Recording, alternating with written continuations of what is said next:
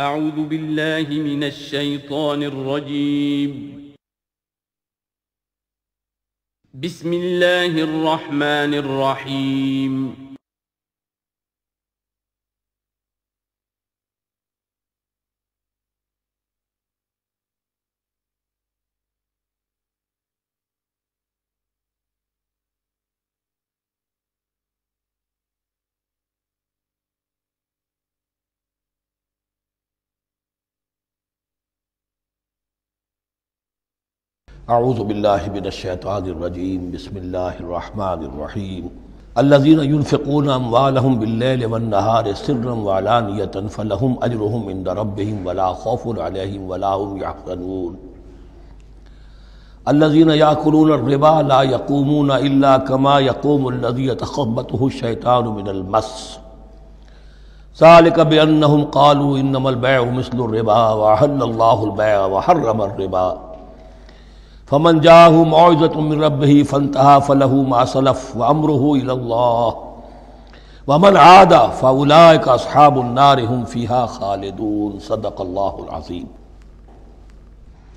रब शरहली सदरी व यसरली अमरी वाहलुलतबिलसानी यफ़क़हू कौली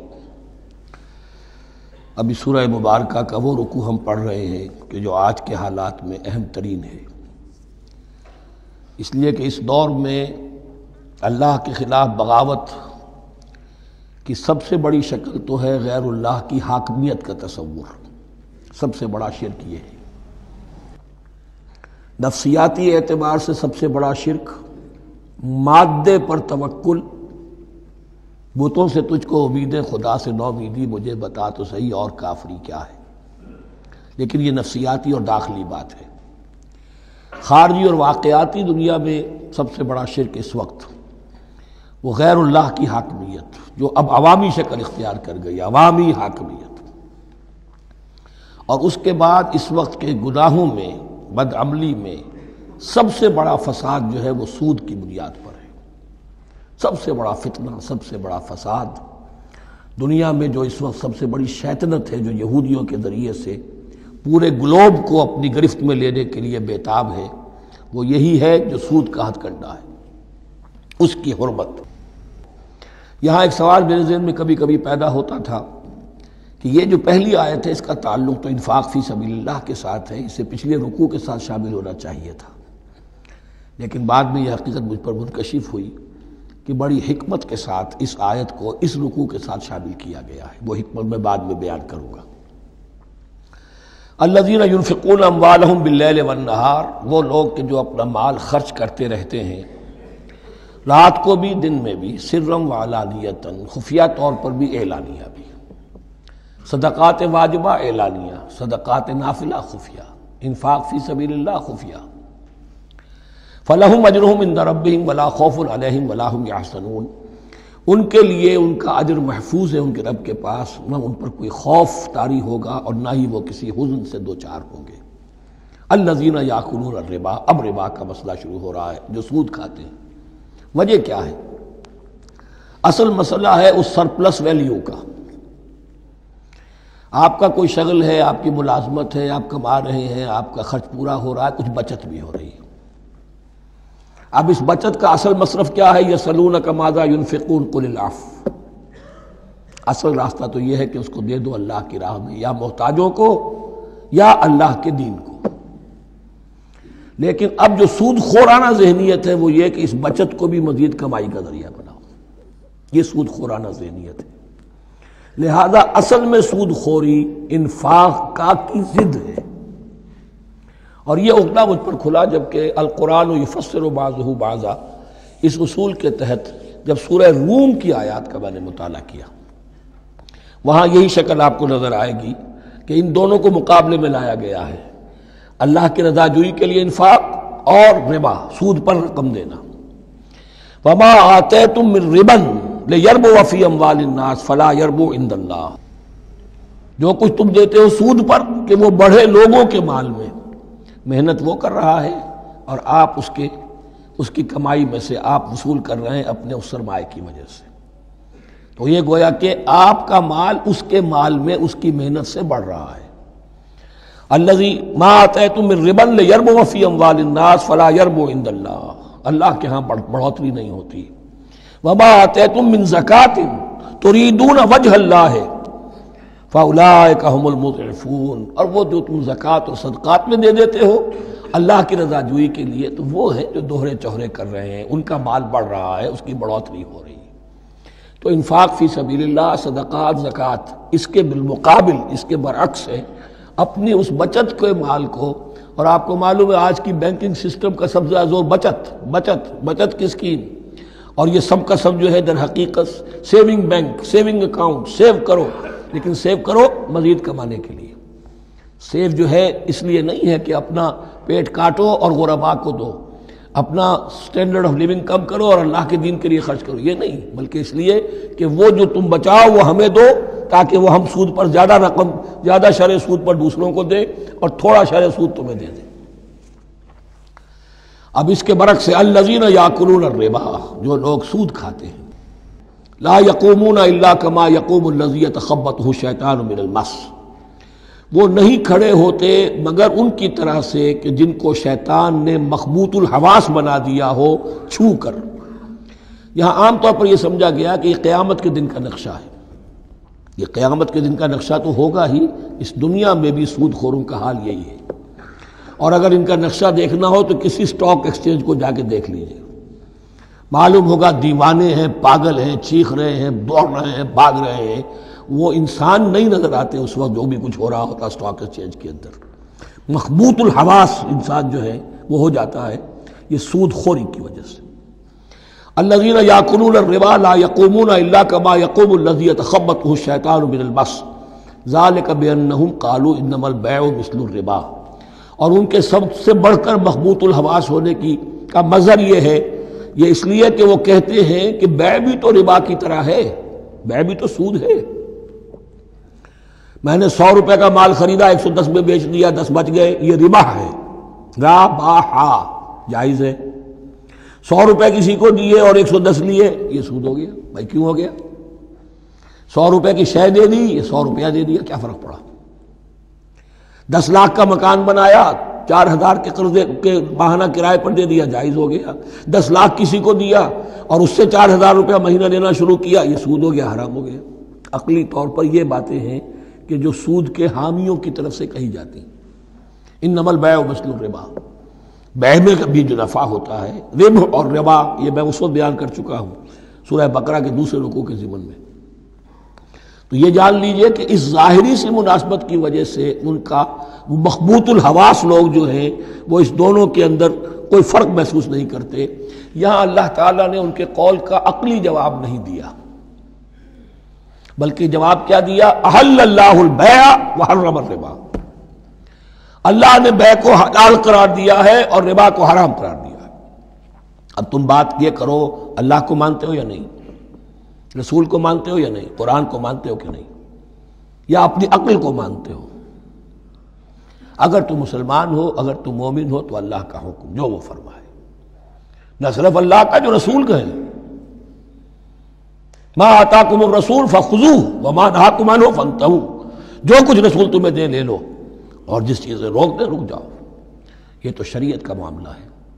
वैसे इसमें जो फ़र्क वाक़ होता है वो ये है कि एक है फ्लूड मनी फ्लूड कैपिटल, एक है फिक्स्ड कैपिटल। मकान दस लाख का है, लेकिन मकान से जो शख्स रह रहा फ़ायदा क्या उठाएगा? एक महीने रहेगा ना? बस, उसका बदल आपने ले लिया। दस लाख रुपए किसी को नकद दे दिए, वो किसी काम में लगाएगा, बारह लाख भी बन सकते हैं, पंद्रह भी लग सकते हैं, आठ भी रह सकते हैं। इसमें आपने फिक्स अगर लिया तो ये हराम है। इन दोनों में अगरचे आमतौर पर कहा जाएगा, ये भी कैपिटल है, वो भी कैपिटल है। मकान भी तो सरमाए की एक शक्ल है, लेकिन ये फिक्स कैपिटल है, इसकी शक्ल बदल नहीं रही है। इस मकान में तो एक शख्स रह जाएगा सुकना होगा, उसकी रिहाइश है। या आप कहेंगे उसकी वियर एंड टीयर है तो उसका आपने बदल ले लिया, बस खत्म। लेकिन वो जाएगा, वो मकान आपके लिए रह जाएगा।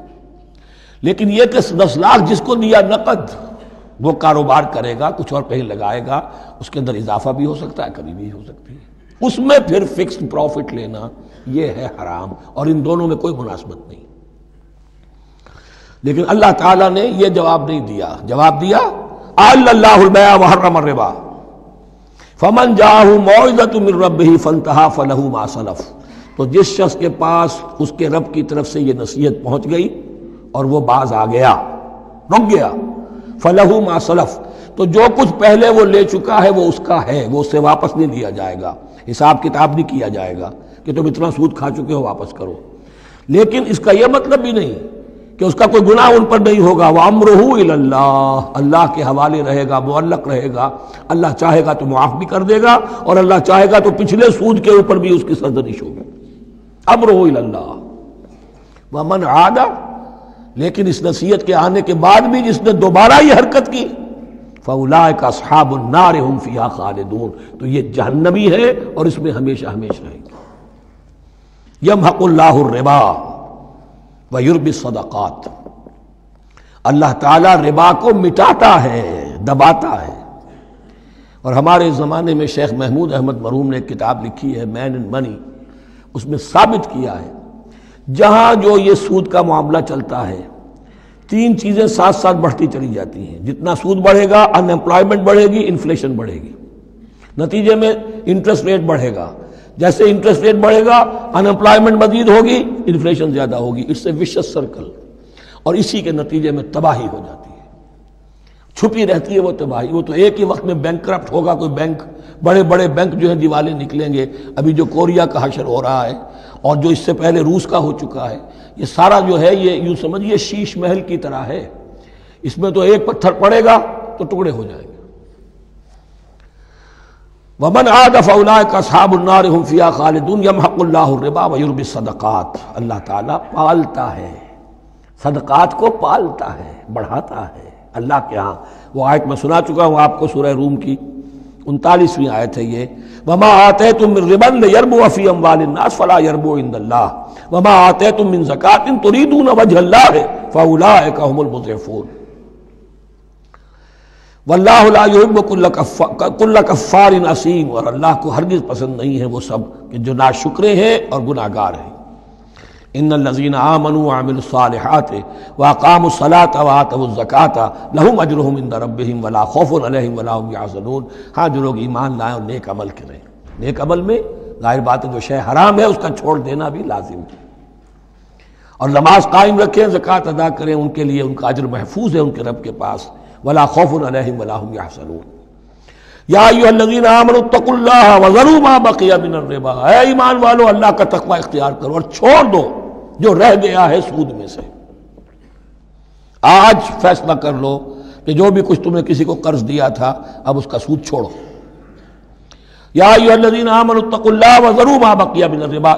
मोमिन अगर तुम मोमिन हो। फ़ैलम और अगर तुमने ऐसा ना किया, बाज ना आए। फाजलू तो कान खोल कर सुन लो। बेहर मिन अल्लाह व रसूली, अल्लाह और उसके रसूल की तरफ़ से ऐलान जंग। ये अल्टीमेटम है। अगर बाज नहीं आते सूद से, देखिए किसी और गुनाह पर यह बात नहीं आई। अल्लाह और उसके रसूल की तरफ़ से ऐलान जंग। वह इन तुम तुम फलकुम रूस अम्वालकुम। अगर तुम तोबा करो तो तुम्हारे जो असल रासुलमाल है, वो तुम्हें लौटा दिए जाएँगे। सूद छोड़ दो रासुलमाल वापस ले लो। ला तस्लमून व ला तुजलमून। न तुम जुल्म करो सूद लेकर, और न तुम पर जुल्म किया जाए कि तुम्हारा रासुलमाल भी दबा दिया जाए। ला तस्लिमून व ला व इनका उसरतिन और अगर तुम्हारा जो मकरूज है वो तंगी में है वो तंग दस्ती में है फ नज़र तुम्हें लाभ है सरा तो उन्हें इंतज़ार करो फिर उसे मोहलत दो कि उसकी हक कुशादगी पैदा हो जाए आसानी से वो आपकी रकम आपका कर्ज वापस कर सके लेकिन इससे भी आगे वन तसदकू खैरुल्लकुम तुम सदका ही कर दो तुम्हारा भाई गरीब था उसको तुमने कर्ज दिया था कुछ सूद लेकर खा भी चुके हो। अब जो है सूद, अब तो बाकी सूद को तो छोड़ा ही है। अगर वो रासुल माल भी बख्श दो उसको, ये इन्फाक हो जाएगा। ये कर्ज हंसना अल्लाह को हो जाएगा। ये तुम्हारा जो है जखीरा आखरत बन जाएगा। तो यूँ समझिए कि जो भी जो है, जिसको सरप्लस वैल्यू मैंने कहा था इस्लामी मीशत के अंदर, जो बचत है आपकी, उस बचत का सबसे ऊँचा मसरफ क्या है? सदका। दे दो, इन्फाक कर दो। उससे कमतर क्या है? कर्ज हसना। कर्ज दे दो किसी को, ताकि वो अपनी ज़रूरत चला ले। उसका कारोबार रुका हुआ था, वो चल पड़ेगा। और तुम्हें फिर वो अपनी असल रकम वापस कर देगा। ये कर्ज हसना उससे कमतर दर्जा है। तीसरा दर्जा एक और भी है, जो जायज़ तो है है मकरूह। पसंदीदा नहीं है। तुम ज़्यादा ही खसीस हो, चलो मुजारबत पर दे दो। और मुजारबत यह है कि रकम तुम्हारी काम वो करेगा। अगर बचत हो जाए तो तुम भी ले लेना। अगर नुकसान हो जाए तो कोई तावान नहीं ले सकते उससे। यह है मुजारबत। इसके बाद अगर तुम कहो कि मैं दे रहा हूँ, मुझे इतने परसेंट तो बहरहाल तुमने देना ही देना है। इससे बढ़कर हराम से कोई नहीं।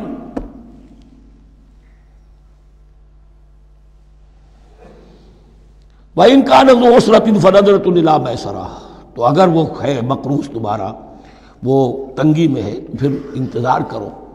उसे मोहलत दो, उसकी कशाइश तक। वाल तसदकू खैरुल्लकुम और अगर तुम सदका ही कर दो, खैरात कर दो, दे दो, बख्श दो, वो तुम्हारे लिए बेहतर होगा इनकुन तुम तालमून, अगर तुम जानते हो। अगर वो हिकमत तुम्हारे अंदर आ गई है, अगर तुम अलबाब हो, अगर तुम समझदार हो तो जो कुछ तुम्हें बचत इससे होगी, जो अल्लाह के यहाँ सवाब मिलेगा, वो तुम्हें ये रकम वापस लेकर जो है उससे क्या मिल जाएगा? वतकू यौमन तुरजाऊ नफ़ी ये आयत आखिरी आयत है कुरान की, नजूल के एतबार से। आयत। डरो उस दिन से। तो देखिए वही आयत याद कीजिए। वतकू यौमन, ला तजी नफसन नफसिन शैन वला युकबल मिनहा शफातुन वला युखद मिनहा अदल वला मिन सरूर वतकू यौमन, ला तजी नफसन नफसिन शैन वला युकबल मिनहा अदल वला तनफ़ा शफातुन वला सरूर डरो उस दिन से, जिस दिन के लौटा दिए जाओगे तुम अल्लाह की तरफ़। सुम्मत वफ़ा कुल्लो नफसिमा कसबत। फिर हर जान को पूरा पूरा दे दिया जाएगा जो कमाई उसने की होगी। वह हम लायुसलमून और उन पर कोई जुल्म नहीं होगा। अब यह कुरान मजीद की तवील तरीन आयत आ रही है। आयत दैन। कोई कर्ज का मामला है। कोई कर्ज का मामला है कि आपने किसी को कर्ज दिया या कोई कारोबारी मामला है, इश्तराक है, जिसमें कि जो भी होगा बाद में नतज निकलेंगे। इन सब के बारे में हुक्म है कि लिख लिया करो। हम क्या करते हैं? कर्ज देते हुए अब दोस्त है, भाई है, अज़ीज़ है, क्या लिखवाना इससे? क्या कहेगा? इतमाद नहीं कारोबार शुरू हो गया जबानी जबानी बातें कर ली, उसके बाद रो रहे हैं, चीख रहे हैं, चिल्ला रहे हैं। या तदायन तुम ईमान, जब भी तुम कोई मामला करो कर्ज का, एक वक्त मुन तक के लिए तो वक्त मुन होना चाहिए। ये कर्ज दे रहे हैं, कब वापस होगा? फ़ख्तबू तो उसको लिख लिया करो। ये फेल अम्र है, अल अमर वजूब, वाजिब है ये। वल यकतुम बैनकुम कातिबुन बिलादल और चाहिए कि कोई लिखने वाला, तुम्हारे माँ बहन, आदिल के साथ, लिखने वाला कोई डंडी ना मार जाए। उन्हें भी चाहिए कि वो सही सही लिखे। वला या बकातिबुल यकतुब कमा फल यकतुब और किसी भी शख्स को जिसे अल्लाह ने सिखाया हुआ है किताबत लिखने का काम तो उसको इनकार नहीं करना चाहिए लिखने से। अल्लाह ने उसे ये इल्म दिया है, उसे चाहिए कि लिखने। इसलिए कि उस माशरे में पढ़े लिखे लोग तो बहुत कम होते थे। अब भी ये होता है राइज नवीस वगैरह होते हैं, वसीका नवीस होते हैं, पैसे दे के उनको जो लिखवाते हैं। लेकिन अगर कोई वसीका नफीस जो है, बेईमानी करे और लिखने में कोई कमी कर जाए तो जो जिसके ऊपर ज़िम्मेदारी है, उसे नुकसान पहुँच जाएगा। वल यकतुम बैनकुम कातिमुन बिलादल और चाहिए कि लिखने वाला तुम्हारे माँ बहन इंसाफ के साथ लिखे। वला याबा कातिबुल यकतुब कमा अल्लाह फल यकतुब और न इनकार करे कोई लिखने वाला इससे कि वो लिखे। जैसे अल्लाह ने उसे सिखाया है तो लिखना चाहिए। वल युमलजी हक, लिखते वक्त इमला वो कराए जिसके जिम्मे रकम आ रही है, जिस पर हक आ रहा है, अलहिल हक। वो लिखवाए। जिसका माल है वो ना लिखवाए। जिस पर ज़िम्मेदारी आ रही है, वो लिखवाए। जो मैं क्या ज़िम्मेदारी ले रहा हूँ? वलियत तकिल्ला रबहू और अल्लाह से डरता रहे अपने रब से। वला यब खस बिन हो शया और लिखवाने में उसमें से कोई शय कम न कर दे। फ़ैन कान लजी अलहक सफ़ियत अब अगर वो जो मकरूज है, जो कर्ज दे रहा है, जिसके ज़िम्मे कोई ज़िम्मेदारी आ रही है, वो नासमझ है, या बूढ़ा है ज़यीफ़ है और ला यस्ततिमिल्ला या उसके अंदर ये इतनी सलाहियत नहीं है कि इमला करा सके। यहाँ इमलाल, इमला के मानी में है।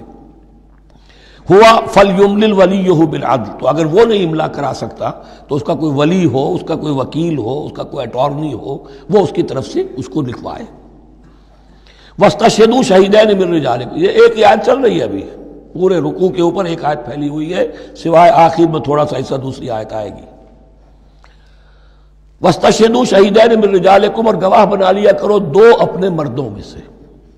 फैलम यकूना रजुलैन, और अगर दो मर्द दस्तियाब न हो फरजुल वमरातान तो एक मर्द और दो औरतें।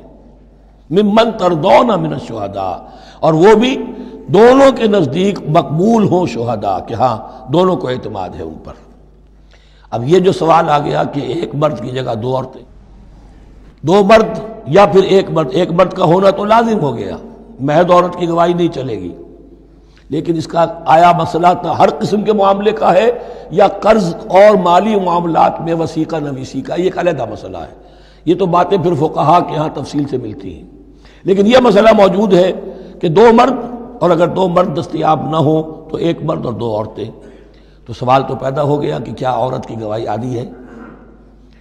अंतदिल्लाहदाहुमा फतुजक्राहदाहुमलखरा मबादा उनमें से कोई एक भूल जाए तो याद करा दे दूसरी। अकली सवाल पैदा हो गया, क्या मर्द नहीं भूल सकता?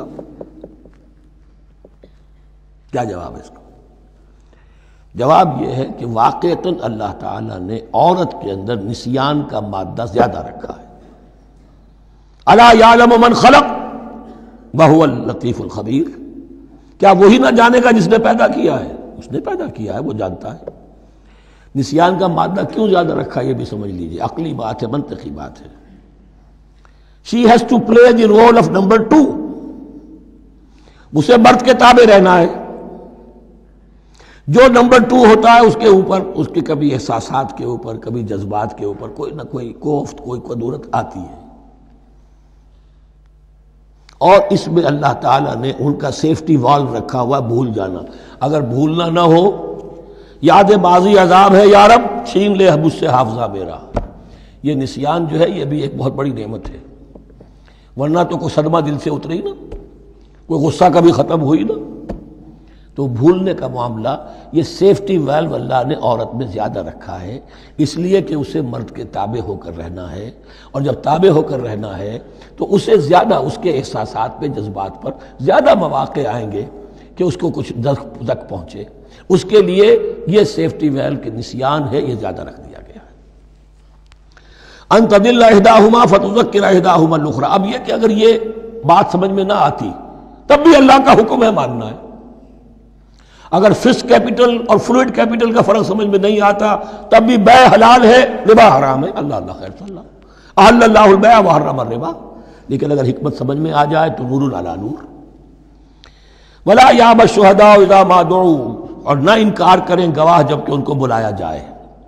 अब गवाही के लिए बुलाया जाए तो गवाही नहीं गवाह नहीं आ रहे, नखरा कर रहे नहीं, उनको आना चाहिए।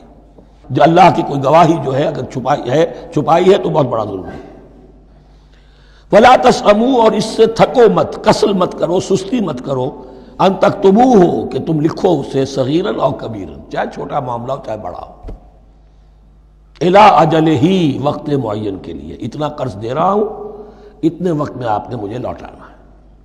उसके बाद आप बढ़ा सकते हैं, आप देख सकते हैं, उसे मजीद मोहलत दे सकते हैं। ऐसे ही हालात है तो आप माफ़ भी कर सकते हैं। लेकिन यह कि जब लिखना है, हुक्म दिया जा रहा है तो उसमें अजल मुन हो, इला अजल ही। और इसमें छोटे बड़े की तफरीक ना करो। चाहे छोटा मसला बड़ा लिख लो। जालकुम अक्सद इंदल्ला ये अल्लाह के नज़दीक भी ज़्यादा मबनी बर इंसाफ है वह अकवम शहादा और गवाही के लिए ज़्यादा कवि होगा और ज़्यादा दुरुस्त होगा। लिखी हुई शय होगी तो अब मामला जो है बहुत वाजे रहेगा। वरना ज़बानी याददाश्त के अंदर कहीं कहीं जो है ताबीर ही में फ़र्क हो जाता। वादना अल्लाह तरताबू और ये उसके बहुत करीब है कि तुम भूलोगे नहीं। इल्ला तकून तिजारत हाजिरतन तो दीरू नहा इल्ला ये कि कोई लेन देन हो, तिजारत हो, जो हाजिर होती है दस्त बदस्त। आपने सौदा दिया, उसने पैसे दे दिए। अब कैश भी वो दे दीजिए, ये आप देना चाहें तो वरना ये शरीयत में लाजिम नहीं है। अगर ऐसा दस्त बदस्त का मामला है तो फिर यह है कि वो तो हो गया एक्सचेंज वो माल जो है दुकानदार ने माल दिया, आपने पैसे दे दिए, उसके लिखने की ज़रूरत नहीं है।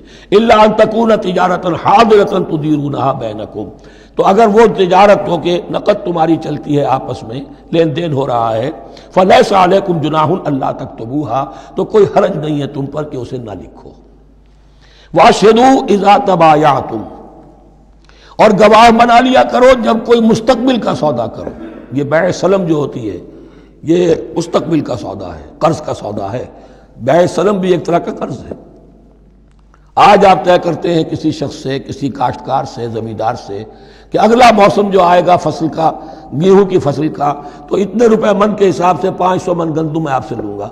ये बै सलम कहलाती है और उसमें लाजिम है कि पूरी कीमत अभी अदा कर दें। लेकिन इसमें भी कि उस वक्त आपको इतनी गंदुम देनी है, इसको लिखवा लो और उस पर दो गवाह बना लो। वाशनु इदा तबाया तुम वला युदौर कातिब वला शहीद। और ना नुकसान पहुँचाया जाए किसी लिखने वाले को या गवाह को, और ना नुकसान पहुँचाए कोई लिखने वाला या गवाह। ये उदार दोनों के लिए आ जाएगा। ये मारूफ भी है और मजूर भी है। ना जरर पहुँचाया जाए और ना जरर पहुँचाए, ना कोई कातिब और ना कोई शहीद, गवाह। वह इन तफलू अगर तुम ऐसा करोगे, नुकसान पहुंचाओगे फ़ैन नहू फसूकुम बेकुम तो ये तुम्हारे लिए बहुत बड़े गुनाह की बात होगी। वत्तकुल्लाह, अल्लाह से डरो।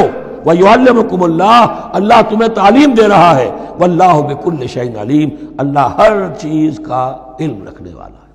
ये एक आयत हुई है। आखिरी पारे की मेरा गलत चार, पाँच छः सूरतें जमा कर ले तो जाकर ही एक आयत का हजम बराबर होगा। जो मैंने कहा था कि आयात की तयन तोक़ीफ़ी है, ये हमारे हिसाब किताब से, ग्रामर से, मंतिक से, इल्म बयान से, किसी से कोई ताल्लुक नहीं इसका। वह इन कुन तुम अला सफ़र, और अगर तुम सफ़र पर हो वलम तजदू कातिबन, अब वहाँ कोई लेन देन का मामला हो गया, कर्ज का हो गया, कातिब कोई है नहीं। फरहान मकबूजा तो कोई गिरवी शय रख लो कब्जे में। फला शय आपके कब्जे में रहेगी, आप इतने पैसे मुझे दे दीजिए मैं जब ये वापस कर दूँगा, अपनी चीज़ें आप मेरी चीज़ मुझे लौटा दीजिए। ये रहन है। मकबूदा लेकिन रहन से कोई फ़ायदा उठाने की इजाज़त नहीं है वो सूद हो जाएगा। अगर मकान रहन रखा गया है, कब्जा तो होगा उसका। लेकिन यह कि वो उसका किराया नहीं ले सकता, किराया मालिक को जाएगा। उससे कोई इस्तेफादा नहीं कर सकता उस माल से। रेहान मकबूजा फ़ैन अमीना बाजुकुम फिर अगर कोई शख्स अब इतमान करता है और एतबार करता है तुम में से बास, किसी बास का। फल युवत दिल नजी उतना अमानत हूँ तो अब चाहिए उस शख्स को कि जिसके ऊपर ये अमानत आई है। अगरचे उसके पास रहन देने को कुछ नहीं था, या ये कि दूसरे भाई ने उस पर एतमाद किया और उसकी वजह से कोई शय रहन नहीं ली तो अब इससे कोई गलत फ़ायदा ना उठाए। वो गोया कि उसके पास जो उसने कर्ज लिया अमानत है उसके पास। वो अमीन बनाया गया है। फल युवदिल्लजी तो में ना अमानत हूँ कि आप अपनी अमानत वापस लौटाए वल यत्तकिल्ला रब्बहू और डरे अल्लाह से जो उसका रब है। वला तक तुम शहादा, और देखो, गवाही को छुपाया न करो। वमा यक तुम्हा फ़ैन नहू आसम कल्बो और जो कोई गवाही को छुपाएगा तो उसका दिल गुनाह में मुबतला हो जाएगा। दिल दागदार हो गया तो रह क्या गया? वल्लाह बिमा और जो कुछ तुम कर रहे हो, अल्लाह उसे जानता है। अल्लाह के फजल करम से आखिरी रुकू पर हम पहुँच गए। और ये बड़ा एक, यूँ समझिए, तीन आयतों पर मुश्तमिल रुकू है। जैसे कि वो रुकू जो हमने पढ़ा था, जिसमें आयतुल कुर्सी चार आयतें हैं वो। और यूँ कह के कहा जा सकता है कि ये दो रुकू एक दूसरे के बिल्कुल बिलमुकाबिल हैं, अपनी आजमत में और मकाम में। आयतुल कुर्सी की जगह यहाँ एक दुआ की आयत है जाम तरीन दुआ जो आएगी, आखिरी आयत। अक्सर व बेशतर आप देखेंगे, सूरतों के अख्ताम पर ये अल्फाज फिर आते हैं। आ, अल्लाह ही का है, जो कुछ भी है आसमानों और ज़मीन में। वह इन तुब्दू माफ़ी अनफुसिकुम तोहफू हो और जो कुछ तुम्हारे दिलों में है खा तुम उसे ज़ाहिर करो, खा छुपाओ। यो हासिब कुम अल्लाह तुमसे मुहासबा कर लेगा। तुम्हारी नीयतें उसके इल्म में है।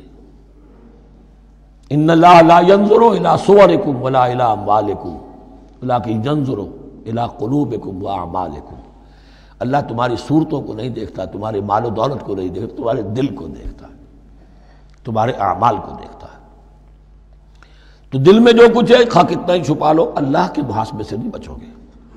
फयक फिर मैशा वयाजिब मैशा फिर वो बख्श देगा जिसको चाहेगा और अजाब देगा जिसको चाहेगा। मुख्तियार इख्तियार मुतलक अल्लाह के हाथ में है। हमारे यहाँ अहल सुन्नत का अकीदा यही है, अल्लाह पर लाजिम नहीं है कि वो नेकोकार को उसका जजा ज़रूर दे और बदकार को उसकी सजा ज़रूर दे। अल्लाह करेगा ऐसा, ये दूसरी बात है। लेकिन अल्लाह की शान इससे बहुत आला और अरफा है कि उस पर किसी शय को लाजिम करार दिया जाए। उसका इख्तियार मुतलक है, मुतलक यफल्लाह मा युरीद। यफल्लाह मा यशा। अहल का कहना यह है कि अल्लाह पर अदल वाजिब है। अहल सुन्नत कहते हैं, अल्लाह अदल करेगा। जजा और सजा में अदल होगा, ये हम मानते हैं वाक़ है। लेकिन हम ये नहीं कहते कि अल्लाह पर अदल वाजिब है। अल्लाह पर कोई शय वाजिब नहीं। बल्कि अल्लाह ने तो कतबा आला नफ्स ही रहमा, अपने ऊपर वाजिब किया है रहमत को। वजूब का लफ्ज जो आता है अल्लाह पर तो वो तो रहमत का है। कतबा अला नफ्स रहमा। अल्लाह ने अपनी ज़ात के ऊपर वाजिब कर लिया रहमत को। अला कुल्ल शहीद कदीर, और अल्लाह हर चीज़ की कुदरत रखता है। आमन रसूल बिमा रबी वलमोमिनून ईमान लाए रसूल सल्लल्लाहु अलैहि वसल्लम, उस चीज़ पर कि जो नाजिल की गई उनकी जानब उनके रब की तरफ़ से। गौर तलब बात है, ये बड़ा बारीक नुकता है।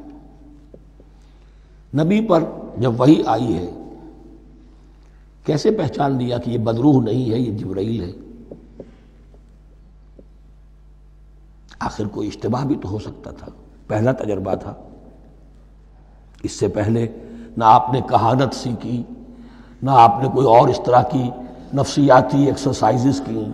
आप तो कारोबारी आदमी थे। एक बहुत ही भरपूर ज़िंदगी गुजार रहे हैं। अहलो अयाल वाले हैं, कारोबार कर रहे हैं। एस लेवल का कारोबार है। तो फितरत जो है, वो पहचानती है।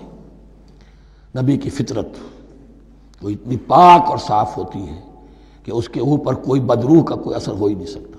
बहरहाल, हमारे लिए बड़ी तस्कीन की बात है कि अल्लाह ताला ने रसूल के ईमान के तस्करे के साथ हमारे ईमान का तस्करा किया। आमन रसूल ईमान लाए रसूल सल्लल्लाहु अलैहि वसल्लम। उस चीज़ पर जो नाजिल की गई उनकी जानब उनके रब की तरफ़ से। और ईमान लाए साहिब ईमान। अल्लाह रबन जलना मिन हूँ अल्लाह रबन जलना मिन हूँ कुल्लु नामन बिल्ला व ही व ही व रसूली ये दूसरा मकाम है सूरह बकरा के अंदर, जिसमें ईमान के जो अज्जा हैं, उनको गिना गया है। कुछ याद है आयतुल बिर? क़िबल अल-मशरिक़ वल मग़रिब वलाकिन अल-बिर्रा मन आमन बिल्लाहि वल यौमिल आखिर वल मलाइकति वल किताब वल नबिय्यीन यहाँ भी उसी तरह है कुल्लु नामन बिल्लाहि व मलाइकतिही व कुतुबिही व रुसुलिही ला नुफर्रिक़ु बैन अहदिन मिन रुसुलिही और ये तीसरी मरतबा बात आ गई है कि रसूलों के दरमियान कोई तफरीक नहीं की जाएगी कहा पहले तो आया था सोलवे रुकू में ला नुफर रुकू बैन आदिमिन हो व नहन लहू मुस्लिम और उससे भी पहले आया था। व लजीना यू मिनूना बिमा उनजिला का वमा उनजिला मिन कबलिक। वो लोग जो ईमान रखते हैं, उस पर भी जो है नबी आप पर नाजिल किया गया, और उस पर भी जो आपसे पहले नाजिल किया लाफर्रबिन रसोली। हम उसके रसूलों में से किसी के माबेन कोई तफरीक नहीं करते। तफजील इसी सूरत में साबित है। दिल कर रसुल फ़बलनाबाज़ अलाबाज़िन मिन कल्ला वरफ़ाबाज़ दरजात वकालू समना वाताना वही बात के जो कही गई थी जब उनसे कहा गया था वसमाऊ क्या कहा था उन्होंने समेना वसैना समेना वाताना वो कहते हैं हमने सुना और माना गुफरान कर रब्बना हमारी दरखास्त है परवरदिगार तेरी बख्शिश मांगते हैं गुफरानक नून पर जबर है, मफूल है। नसलों का गुफरान का अल्लाह, हम तुझसे सवाली हैं, तुझसे तलब करते हैं, दरख्वास्त करते हैं, तेरी मफफरत का। वही मसीर, और तेरी ही जानब लौट जाना है। यहाँ पर वो ईमान बिल आखिरा भी आ गया, जो यहाँ ऊपर नहीं आसान आमना बिल्ला है वह मलायकत ही वह कुतुब ही व रसूली फिर रसूलों के ज़िमन में लानफर आदिब रसूली लेकिन उसके बाद वहीकल मसीह मफफरत और, अल्लाह की तरफ़ ही लौट जाना है हमारा इसमें ईमान बिल आखिर आ गया। अब आखिरी आयत ला अल्लाह ताला नहीं जिम्मेदार ठहराएगा किसी जान को मगर उसकी वसत के मुताबिक। ये बहुत बड़े फजल करब वाली आयत है। जैसे मैंने कहा था मैगना कार्टा जो है इंसानी हकूक का। कि उजीब दावत दान। जहाँ भी मुझे कोई पुकारे, जब पुकारे, मैं उसकी पुकार सुनता हूँ कबूल करता हूँ। हाँ, फल यू भी, फल यस्तजी बोली उन्हें भी चाहिए कि मेरा कहना माने। दो तरफा बात चलेगी, एक तरफा नहीं। मेरी मानो, अपनी मनवाओ। तुम दुआएँ करोगे, हम कबूल करेंगे। तुम हमारी बात नहीं मानते, फिर तुम्हारी दुआ तुम्हारे मुँह पर दे मारी जाएगी। करते रहो कुनूत नाजरा चालीस चालीस दिन के अस्सी अस्सी दिन पढ़ते रहो। ढाका तो बैठ ही जाएगा, बैठ गए। यहूदियों से शिकस्त तो हो ही जाएगी, हो गई।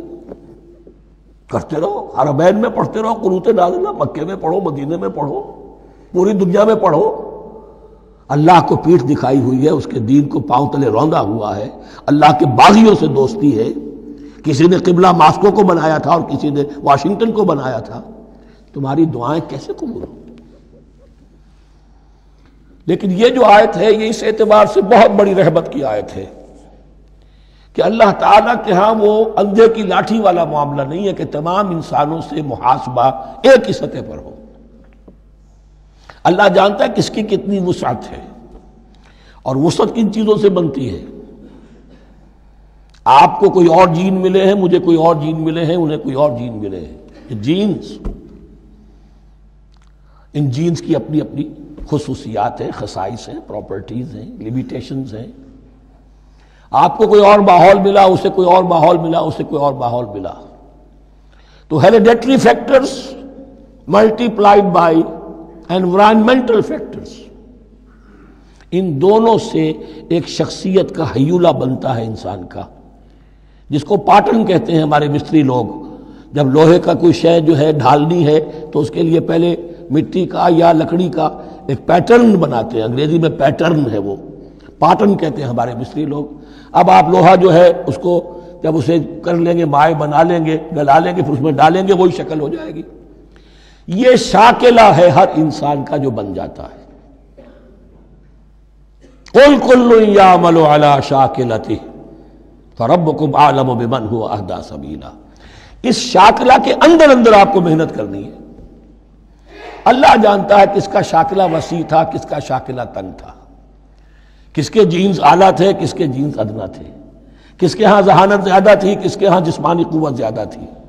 जो भी कुछ उसने दिया है, जिसको वहाँ हमने रखा, उसको वहाँ रखा, उसने वहाँ तालीम पाई, उसने यहाँ तालीम पाई।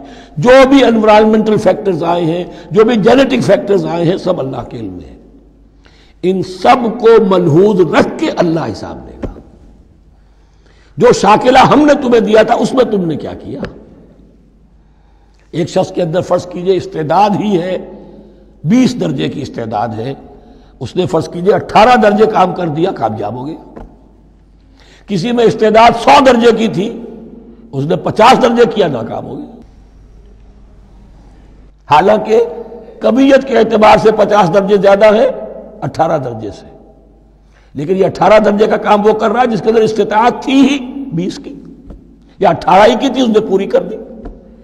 और पचास दर्जे वाला वो जिसको अल्लाह ने दे रखी थी, हज़ार की इस्तात उसका वो पचास बेकार हो गया।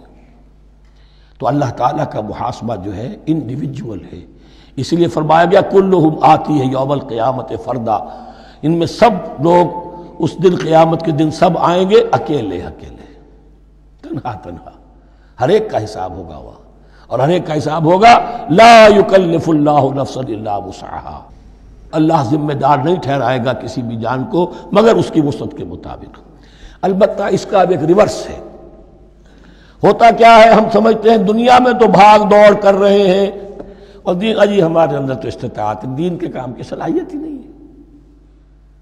दुनिया में देखें बड़े कामयाब, तेज़ी के साथ दौड़ रहे हैं, कामयाब पर कामयाब दिन हमारे अंदर तो इस्तात नहीं है। इस्तेदाद ही नहीं है, क्या करें? ये धोखा है सेल्फ डिसेप्शन है। इस्तेदाद और इस्तात के बगैर और सलाहियत और जहानत के बगैर दुनिया में भी आप कमा नहीं सकते, मेहनत नहीं कर सकते, कोई नतज हासिल नहीं कर सकते। ये धोखा अपने आप को ना दीजिए। यह है, जो कुछ कर सकते हो कीजिए। खोदिए अपनी शख्सियत को। खोद खोद कर जो निकाल सकते हो, निकाल दीजिए। हाँ आप निकाल सकेंगे उतना ही। जितना आपके अंदर वदियत है। ज़्यादा कहाँ से ले आएँगे? और अल्लाह ने किसमें क्या वदियत किया है, वो जानता। उसका हिसाब लेना जो है मुहासबा, वो उस पर है कि जो उसने तुम्हें दिया है। ला, और ये मजमून कुरान मजीद में पाँच मरतबा आया है, बहुत अहमियत के साथ। ला मा मकतसबत। उसी जान के लिए है जो उसने कमाया, और उसके ऊपर वबाल बनेगा। जो उसने बुराई बुराई कमाई। लेकिन लाम और आला लहा मा कसमत, जो भी उसने नेकी कमाई, उसके हक में है, उसके लिए है, उसका अजर मिलेगा, सवाब मिलेगा। और जो बदी कमाई, वो उस पर वबाल बनेगा, उसी के लिए उसको सजा मिलेगी, उसी के हवाले से। अब वो आखिरी दवा आ गई, दुआ आ गई जाब तरीन, और अजीम तरीन दुआ है कुरान मजीद की। रब्बना ला तो आखिसना इन नसीना वख्ताना अहले ईमान ईमान के रास्ते पर, अमल साले के रास्ते पर, मकदूर भर, इम्कान भर, अपनी शख्सियत के कोनों खदरों में से भी निकाल निकाल कर, अपनी रेजिडुअल एनर्जीज को भी निकाल निकाल कर अल्लाह की राह में लगा दें। लेकिन इसके बाद भी कोई गर्रा ना हो, कोई गुरूर ना हो। कोई अपनी मेहनत पर, अपनी नेकी पर, अपनी कमाई पर, अपने कारनामों पर कहीं इंसान धोखा न खा जाए। कैफियत क्या रहनी चाहिए? वो ये है तोज़ो इज्स इनके सारी। रबना ला तो आखिजना इन नसीना वख्ताना ए रब, हमारे हमसे मुआवजा न कीजो। अगर हम भूल जाएँ या हमसे ख़ता हो जाए। निसियान भी है। अल इंसान मुरकब मिनल ख़ता व निसियान इंसान के अंदर ये दोनों चीज़ें ख़ता और निसियान, ये तो बुंदी हुई हैं। खता यह है कि आपने अपनी इम्कानी हद तक तो निशाना ठीक लगाया था, निशाना खता हो गया। ठीक है? कोई बात नहीं। आपकी नीयत सही थी। एक इश्तहाद करने वाला इश्तहाद कर रहा है। इम्कानी हद तक उसने कोशिश की है कि सही राय तक पहुँचे, लेकिन खता हो गई हो गई। अल्लाह माफ़ करेगा। उसने अपनी इम्कानी कोशिश की थी, लिहाजा उसे सवाब मिलेगा। मुझ मुजतहिद, मुख्ती भी हो। तो सवाब मिलेगा। मुजतहिद मुसीब है, सही राय पर पहुँच गया है तो दोहरा सवाब मिलेगा। लेकिन मुजतहिद मुख्ती है, तब भी सवाब मिलेगा। तो भूल चूक पर, ये भूल चूक खता जो है, चूक सही है, बिल्कुल लफ्ज उसके लिए, चूक जाना, निशाना चूक गया। तो ए परवरदिगार, जो भी हमसे सरजद हो जाए, गलती हो जाए, भूल की वजह से या खता की वजह से, उस पर मुआवजा न कीजिए। रबना वला तहमिल अलैना इसरन कमा हमल तहु नजीन अमिन कबल और ए रब हमारे हम पर वो बोझ ना डालियो जिससे हम लेकर चल न सके। देखिए, एक हमल होता है जिससे हमाल का लफ्ज बना है, जिसको लेकर इंसान चलता है। हमाल उस बोझ, बोरी को या बोझ को उठाकर चल रहा है, जो आपकी ताकत में है और जिससे लेकर आप चल सकें, वो है हमल। और जो हो आपको बिठा दे, इसर उसको कहते हैं। ये लफ्ज आराफ में फिर आएगा। यजा हम इसरहम वल्लती कानत अलैहिम। हुजूर की शान ये भी थी कि उन्होंने लोगों के बोझ जो उनकी ताकत से बढ़कर थे, उनके कंधों से उतार दिए। रबना वला तहमिल अलैना कमा हमल तजीन अमिन कबल अल्लाह, तूने बड़े बड़े भारी बोझ हमसे पहले लोगों पर डाले। शरीयत भी पहले भारी थी। बहुत से मामला हमने देख लिए, रोजा हमारे लिए कितना आसान कर दिया गया। रात को निकाल दिया रोज़े से। कह दिया खासतौर पे खाओ, पियो ज़रूर शेरी ज़रूर करो तो सहरू फ़ैन सहूर बरका। कितनी आसानी है। रात में ताल्लुक जनो शौ की इजाज़त है। वहाँ उनके रोज़े में चुप भी था, चुप भी रहो। न खाओ, न पियो, न ताल्लुक जनो शौक, न गुफ्तु तो आसानी की है। उनके यहाँ यौम सब का हुक्म था, इतना सख्त। कोई काम नहीं करोगे।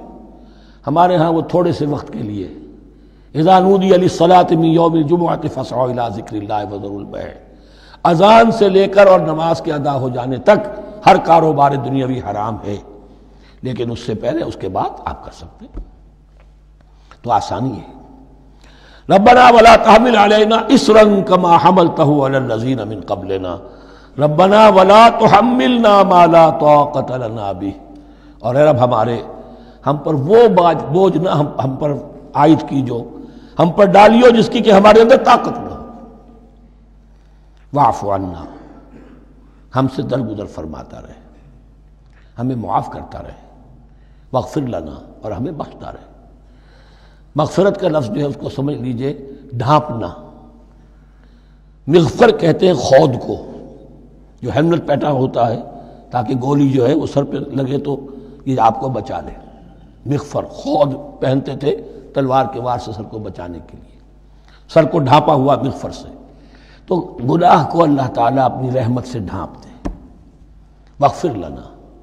हमारी खताओं की पर्दापोशी फरमा दे। वरहमना और हम पर रहम फरमा।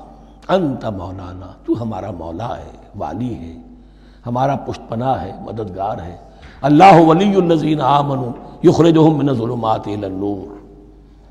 फन सुरना अलकौमिल काफरीन। बस हमारी मदद फरमा काफिरों के मुकाबले में। इन्हीं अल्फाज पर वो दुआ ख़त्म हुई थी, जो तालूद के साथियों ने की थी अलैहिस्सलाम असल में ये दुआ अब तलकीन की जा रही है। मरहला सख्त आ रहा है। मरहला सख्त है और जान अज़ीज़, ताब लाते ही बनेगी आप गालिब। अब वो मरहला आ रहा है, उसके लिए तैयार हो जाओ। ये सारा हिस्सा जो है दर हकीकत ये तमहीद है गजब बदर की। बारक अल्लाह वलकुम फ़िल क़ुरान व नफ़ानी वैयाकुम बिल आयात वज़िक हकीम।